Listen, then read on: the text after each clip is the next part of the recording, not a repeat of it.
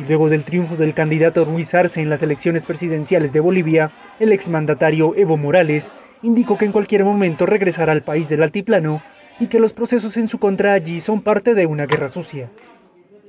Tarde o temprano vamos a volver a Bolivia. Ese no es el debate. Y si hay tantos procesos, son parte de una guerra sucia, tantas mentiras. Y no es la primera vez. Entonces, cuestión de tiempo. Al ser consultado sobre si ocupará algún cargo en el nuevo gobierno de Arce, Morales expresó que su deseo es asentarse en Cochabamba y ser agricultor y pequeño productor en esa zona.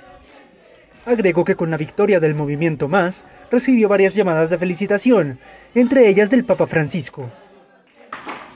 Sentía que no estamos solos. Quiero decir al hermano Papa Francisco, quiero que sepa, el movimiento indígena no es rencoroso. Cabe recordar que Evo Morales dejó la presidencia de Bolivia en 2019 denunciando un golpe de Estado. En su país tiene varias órdenes para comparecer por acusaciones de genocidio, terrorismo y sedición.